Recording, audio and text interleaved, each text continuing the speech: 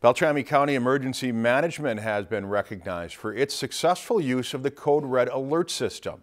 Uh, Josh Peterson shows us how the system works and why the county was recognized for the use of the system.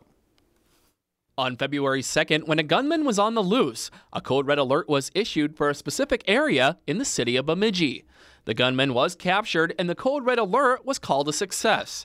That success got the attention of ECN, the company that provides the CodeRED Alert program, that recently awarded Beltrami County for its successful use of the system.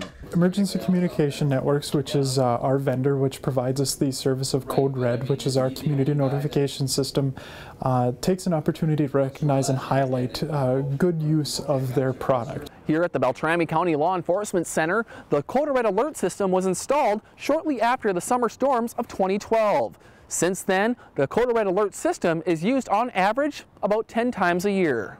The alert system is used for a variety of different events, ranging from bad weather to a security threat. We can use uh, CodeRED for a number of different uh, events or incidents that occur. We've used it for weather events. Uh, we also use it in hazmat incidents. The CodeRED Alert system streamlines the process simply by writing an alert that is less than 160 characters long, drawing on a map, and then selecting the area that has the most impact.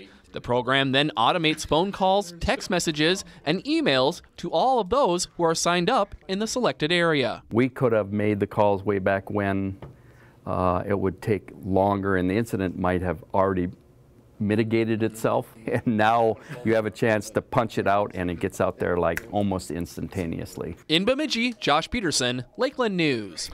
Only half of Beltrami County's population is currently signed up for the CodeRED Alert system. If you'd like to sign up, we've posted a link on our website at lptv.org/news.